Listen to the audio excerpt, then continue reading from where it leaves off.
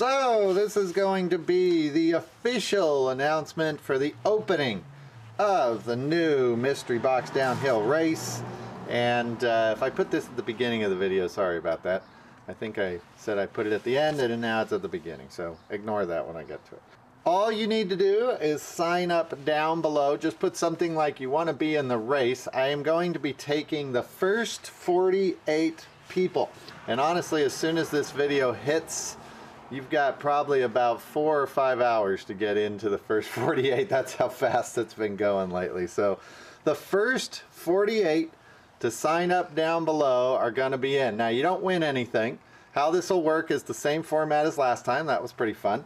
Is I will pick 48, 50 cars and then we will pick like the NFL draft between me and my son. Whatever we pick, that's going to be randomly assigned to one of those 48 viewers that signs up down below. And we will see who wins. So you're going to end up with a random car, you're going to go downhill racing, and we will end up with a winner. It's just for fun. It's something we do here. It's one of my favorite things that we do.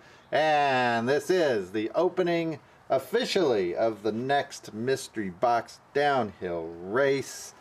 Sign up down below. First 48 are in.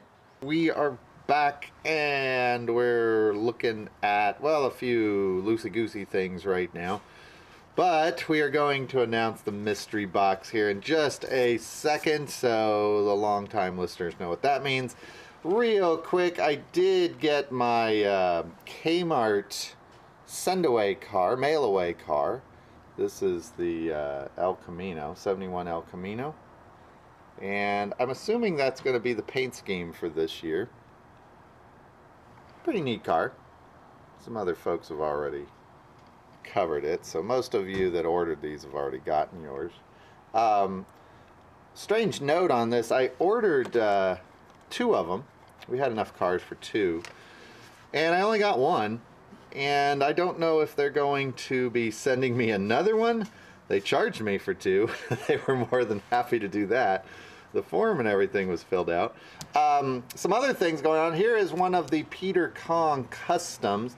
Now this one is not completely finished yet, but I wanted to give you an idea of what we had. The wheels do turn, there we go. The uh, wheels are just kind of dusty here. Um, the wheels right now are not glued into place, so they're kind of rattling around in there.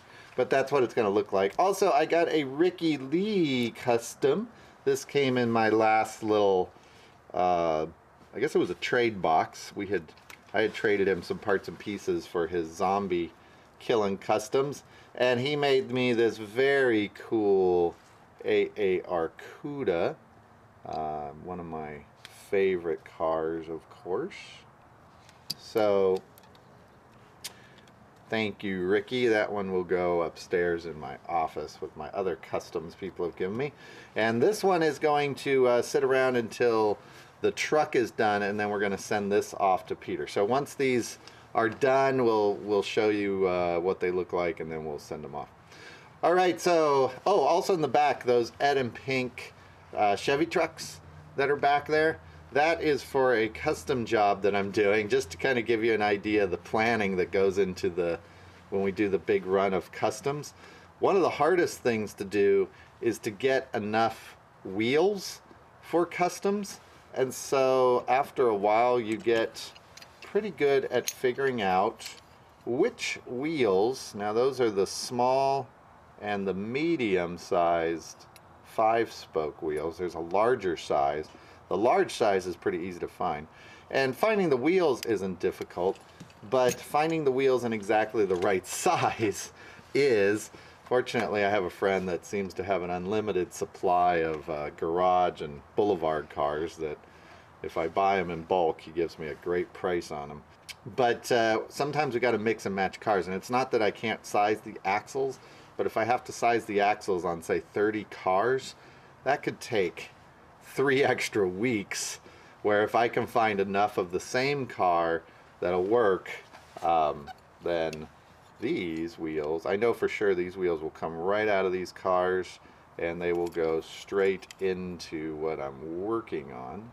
So just to give you an idea, there's a bunch of planning. Also, the uh, decals and all need to be made and ordered. So it takes about two, three weeks just to order all the parts for those big custom runs. Okay, what y'all been waiting for, the official announcement of the mystery box. Be back in just a second.